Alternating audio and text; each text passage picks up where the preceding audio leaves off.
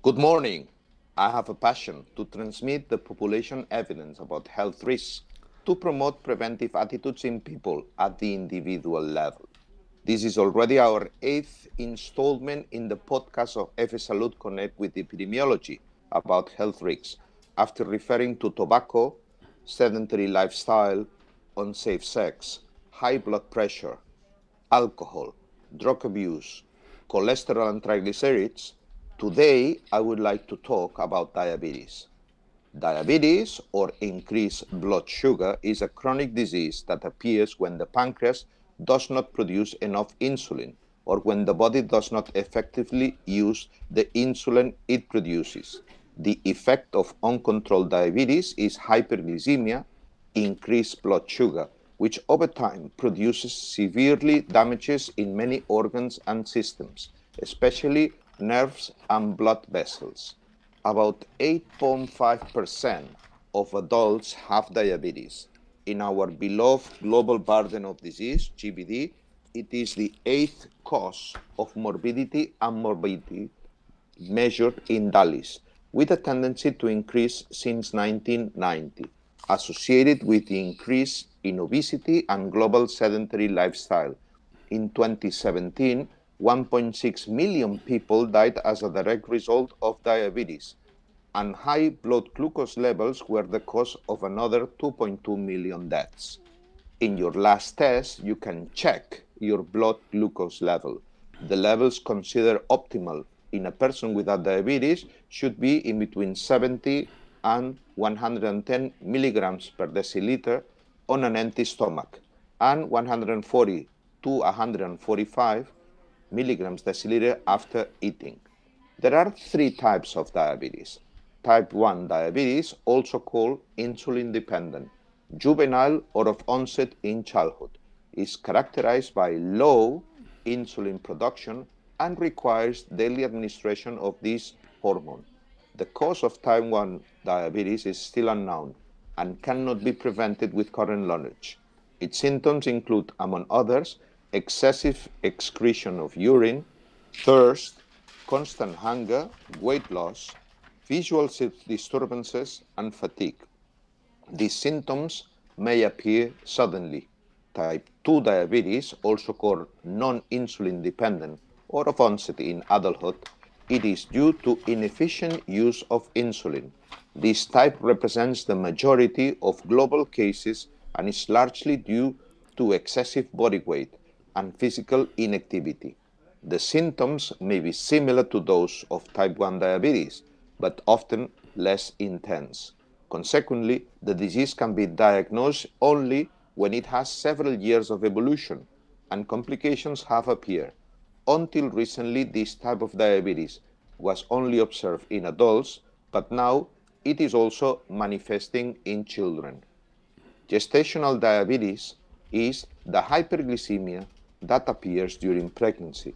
These women are at a greater risk of complications during pregnancy and childbirth. In addition, both mothers and their children are at greater risk of developing type 2 diabetes in the future. What are the frequent consequences of diabetes?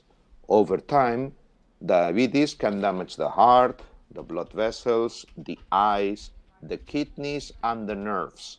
Adults with diabetes have a two to three times greater risk of myocardial infarction and stroke. Neuropathy of the feet, combined with reduced blood flow, increases the risk of foot ulcers, infection, and ultimately amputation. Diabetic retinopathy is an important cause of blindness and is the consequence of the damage of the small blood vessels of the retina that accumulates over time. 2.6% of the global cases of blindness are a consequence of diabetes. Finally, diabetes is among the leading causes of kidney failure. How we can reduce the burden of diabetes? Well, prevention is the key it has been shown that simple lifestyle related measures are effective in preventing type 2 diabetes or delaying its onset. To help prevent type 2 diabetes and its complications, you should achieve and maintain a healthy body weight, Stay physically active, at least 30 minutes of regular activity of moderate intensity on most days of the week. To control the weight, a more intense activity may be necessary. Eat a healthy diet that avoids sugar and saturated fats. Avoid smoking, since it increases the risk of diabetes and cardiovascular disease. The diagnosis of diabetes can be established early with relatively, relatively cheap blood tests, and the treatment consists of a healthy diet and physical activity, along with the reduction of blood glucose and other known risk factors that damage blood vessels. To avoid complications, it is also important to quit smoking. Among the interventions that are feasible and economical are glycemic control, particularly in people suffering from type 1 diabetes. Patients with type 1 diabetes need insulin, and patients with type 2 diabetes may be treated with oral medications, although they may also need insulin. Also, you need to control the blood pressure and have care of your feet.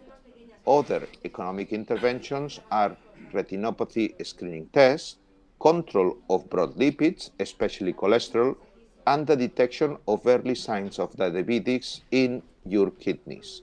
Remember, think of yourself, others, and the planet. Diabetes can be prevented and can also be cured. Avoid overweight and sedentary lifestyle. Practice with the example and do the exercise of physical activity that pleases you. Better if it can be in a group. Do a minimum of half an hour every day. Good information on time is essential. Remember, prevention is life. Thank you.